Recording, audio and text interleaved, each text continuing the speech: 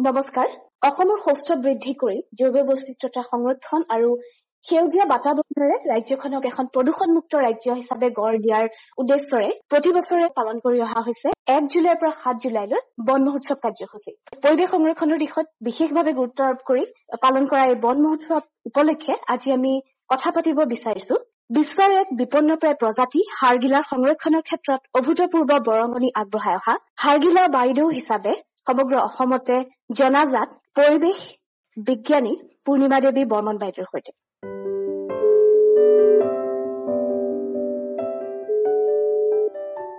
বাইদেউ নমস্কাৰ। নমস্কাৰ। এই অনুষ্ঠানত মোক যোগাযোগ কৰাৰ কাৰণে ধন্যবাদ। প্ৰথমে আপোনাৰ পৰা জানিব বিচাৰিম যিহেতু হাৰগিলা সংৰক্ষণৰ ক্ষেত্ৰত যি অৱদান আপুনি আগবঢ়াই আহিছে সেয়া সকলোৱে জ্ঞাত। হাৰগিলা সংৰক্ষণৰ সমান্তৰালভাৱে আপুনি পৰিৱেশ সংৰক্ষণৰ দিশত যথেষ্ট অৰিহণা আগবঢ়াই আহিছে। গতিকে এই দিশটোৰ ক্ষেত্ৰত কিছু কথা আপোনাৰ পৰা জানিব বিচাৰিছো। আচলতে হাৰগিলা অতি বিপন্ন চৰাই সকলোৱে জানে। খুব সংকটপূৰ্ণ এটা অৱস্থাৰ পৰা আমি আৰম্ভ কৰিছিলো। যেতিয়া মানুহে গছবোৰ কাটি কাটি ইয়াৰ হেবিটেটবোৰ ধ্বংস কৰি আছিলে বিভিন্ন মানে কাৰণত অজানিতেই হওক বা জানিয়েই হওক মানুহে বহুত গছ কাটি দিয়ে।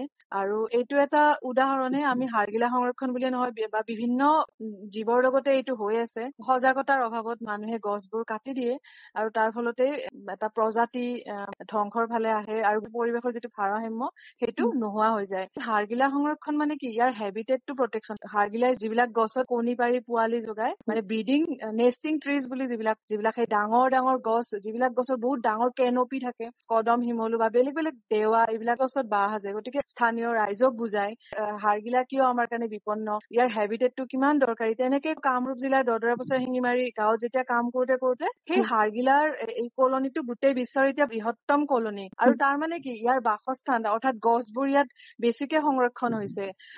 আৰু অকলটো ব্ৰিডিং ট্ৰিজ বা নেষ্টিং ট্ৰিজে নহয় হাৰগিলাক বেলেগ বেলেগ গছৰো বহুত দৰকাৰ। হাৰগিলা বুলিয়ে কোৱা নাই যিকোনো চৰাই অকল নেষ্টিং ট্ৰিয়ে নহয় তাক ৰুষ্টিং লাগিব নেষ্টিঙৰ কাৰণে মেটেৰিয়েল লাগিব গতিকে আমি ইয়াৰ ভাৰসাম্যতা ৰক্ষা কৰাৰ কাৰণে গোটেই বাসস্থানটোৱে আমি ইয়াৰ সংৰক্ষণ কৰিব লাগিব। এই ক্ষেত্ৰত মহিলাসকলে খুব আগভাগ লৈছে হাৰগিলা আৰ্মি। আপোনালোকে যদি যাই চাব পাৰিব কেনেকে মানুহে সংৰক্ষণ কৰিছে। এতিয়া হাৰগিলা আৰ্মি বহুত ঠাইতে আছে। অকল দদৰা বছৰীয়া বুলি নহয় হাৰগিলা আৰ্মি যিটো শপতনামা তাত কিন্তু আমি অকল হাৰগিলা হিচাপে ৰখা নাই।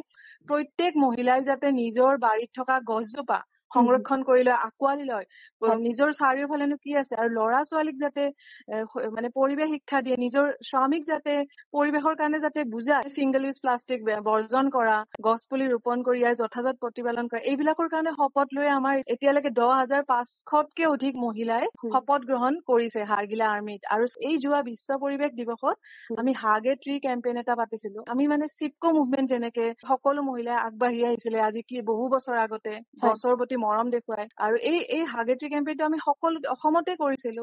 আৰু যিসকলে খবৰ পাইছে লগে লগে নিজৰ গছজোপাক ভাল পোৱা প্ৰদৰ্শন কৰি পেলাই নিজৰ প্ৰেম আৰু নিজৰ শ্ৰদ্ধা গছজোপাৰ প্ৰতি নিদৰ্শন কৰি পেলাই আমাক তেওঁলোকৰ ফটো পঠিয়াইছিলে।